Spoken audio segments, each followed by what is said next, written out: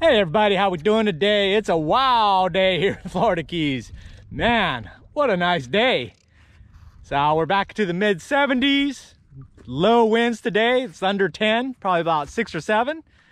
Full sun. But it's about two o'clock, so I don't have a lot of time. So I think, I was thinking about heading out to the reef, but uh, because lack of time, I think I'm gonna do another patch reef run, do some fun fishing, make up for yesterday's lack of fishing and uh, see what's around there. So first we're gonna try to pick up some bait. Mainly I'm looking for some dead bait. So maybe glass minnows, pilchards, um, maybe some mullet, just something that I could uh, just kind of float back. I've got some chum already. Hopefully the ballyhoo will show up. And then I think I might do a offshore run tomorrow. That looks good. Maybe do uh, see if the sailfish are around. Um, that'll help me out to find out if I can catch some uh, ballyhoo as well. So that's the plan. Beautiful, beautiful day. All right, we're on some pilchards.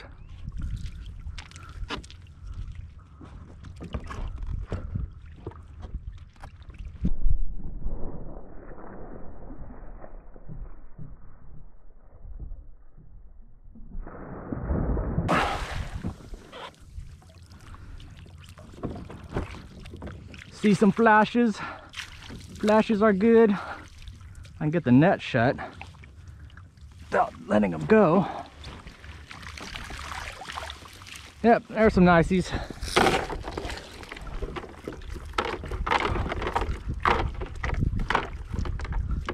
All right, let's go fishing.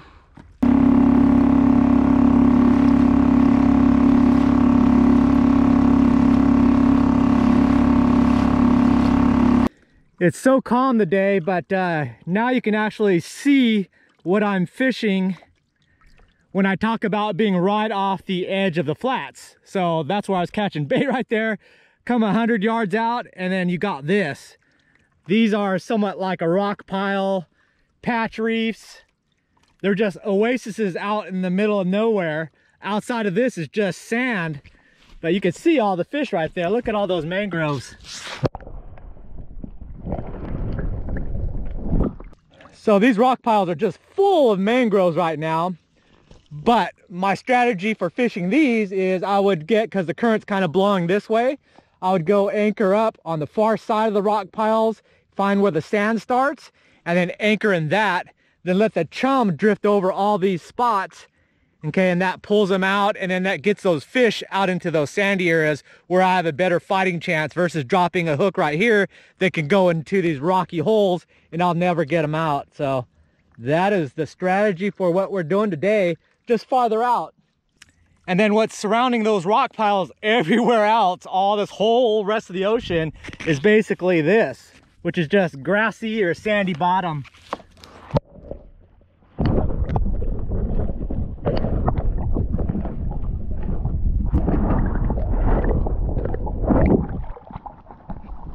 That's why it's so important to find structure. I mean, you're just out here in a desert of nothing, and then you find those rock piles and structure, patch reefs, get to the reefs, and that's where the fish are, because that's where the safety, that's where those ambush points are, that's where the bait's hanging out, so that's the plan. All right, so we're kind of in the area that we're gonna fish. We're about three miles out. We're right now on top of this kind of plateau, so it's about 10, 11, 12 foot deep right here and then we're gonna keep going until he drops off the edge and goes down to 20 25 foot. And the current is running uh, east to west this way. So we're gonna want to find the edge and then go east anchor up. And so our chum just flushes down that edge. Because up top here there's not to be a lot of uh, stuff going on. A lot of little fishies coral heads angelfish but where the big targeted fish that we're going to target are actually on those edges there. So let's find that edge. All right, we just dropped off the edge. So it's there and then it drops off. So this is 20 feet here. There's still some patches of uh, corals and stuff here, but you can see the it's all sandy bottom.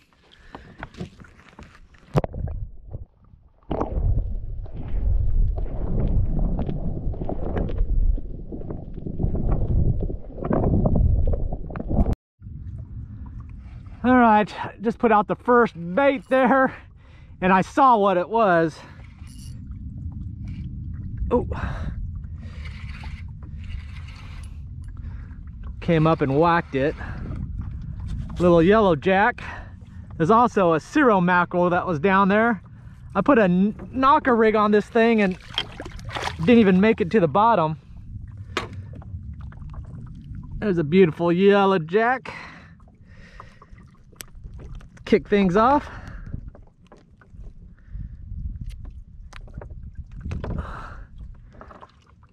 Pretty colorations there.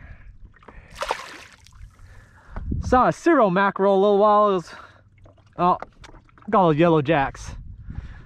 They're gonna be a problem. All right, this is on the knocker rig. Get out of there. I don't know, feeling kind of sharkish. Oh, it's a big mangrove mutton. Big mutton. Hey, Ceros, get out of there.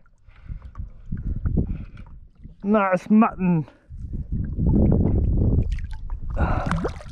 Bam. No groupers today, but we get the big muttons.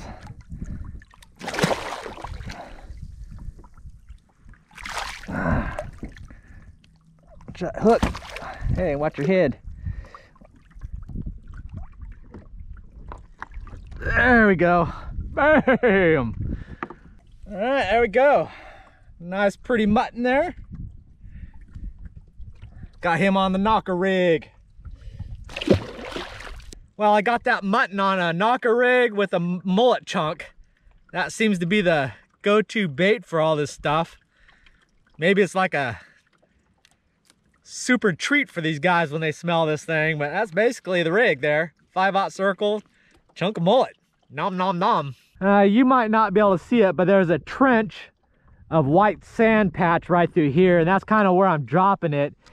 If I don't drop it in that kind of area there, they only have to go a few inches and then they're into all this scruff and reef and all that stuff. So if I place it right in the middle of that sand, that knocker rig will get that bait and the uh, the weight just right down. Oops, messing with it. Something's taking it. Oh, there we go. Oh, oh, shoot. Just like that. Dang it. That was my grouper, I bet you. Ay. So it basically went from there to there and then it broke me off. So I think it's time to bring out the heavy rod they're gonna play those games. Dang it! 30 pound leader just cut just like that. All right, we've got the uh, Esky 20 pound rod. So that's my uh, heavy. Try that mullet head again. Oh, I see ballyhoo showed up, so that'll be good. Put down a live ballyhoo. But that mullet chunks are just like the shizzle, so we'll give this a little try. Go ahead try me now, whatever you were down there. Not gonna let them take off as far as I did, and then I've got it pretty much locked down, plus the heavier rod. There we go. Oh, oh, God, that's not good. And he rocked me up. Just like that. God dang it. Oh, he's pulling against me. Oh. Ah,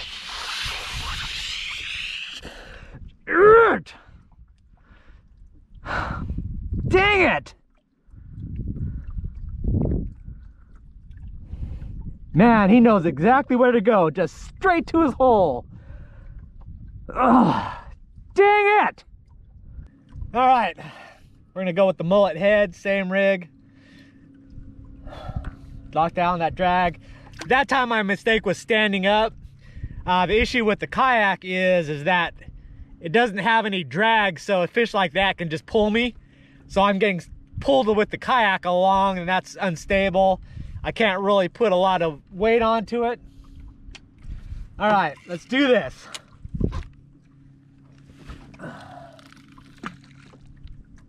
Gotta stop this guy just, boom, as soon as he just picks it up, I gotta hit him. That be it. I'm just watching the line. I don't even want to wait till the pole starts hitting. As soon as that line starts straightening out, I need to hit them. And I just need to start pulling on them. Something's messing with it. Oh! Dang it. It's probably something small that just... Oh.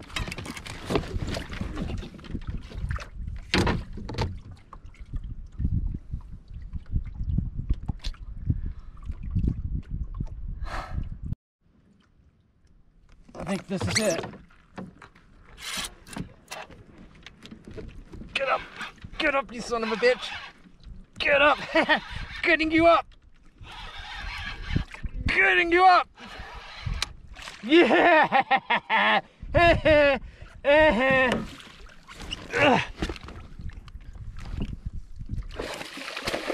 Whoa!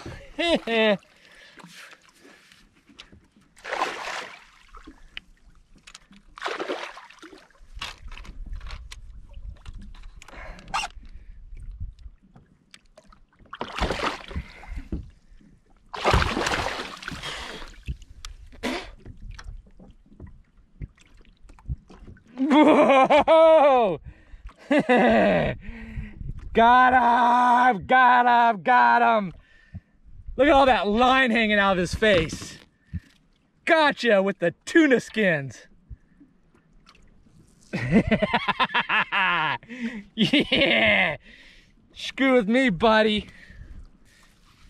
There we go. Got him! got him, got him, got him. All right, thank you for the fight. One, two hooks. Got him. and got some of my hooks back. That seven knot still brand new. Cut me off. Knew I'd get that dude.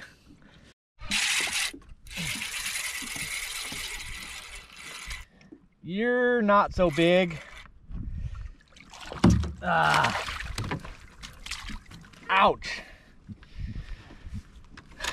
You're a little dude. Playing a big boy's game.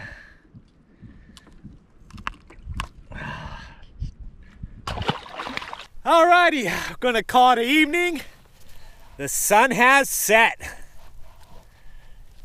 Definitely a fun day here on the patch reefs. Nice being so close. I can just head right in, a couple minutes, and bam, done. Uh, got that one grouper. Lost about five of them. That's okay, I gotta work on that. It's that leverage is just so difficult on a kayak, on an anchor, because they could pull you so easily. So we'll work on that maybe stop by at CVS, see if they have any man pills on sale. But uh, anyways, uh, thanks for watching. Today's video sponsored by the mullet shirt. I definitely got to pick up a few more mullet when I came out here and uh, that seems to be working out really well in the patch reefs. Might even try dropping a live one down there. They ought to like that. So anyways, uh, thanks for watching and I'll see you next video. Bye.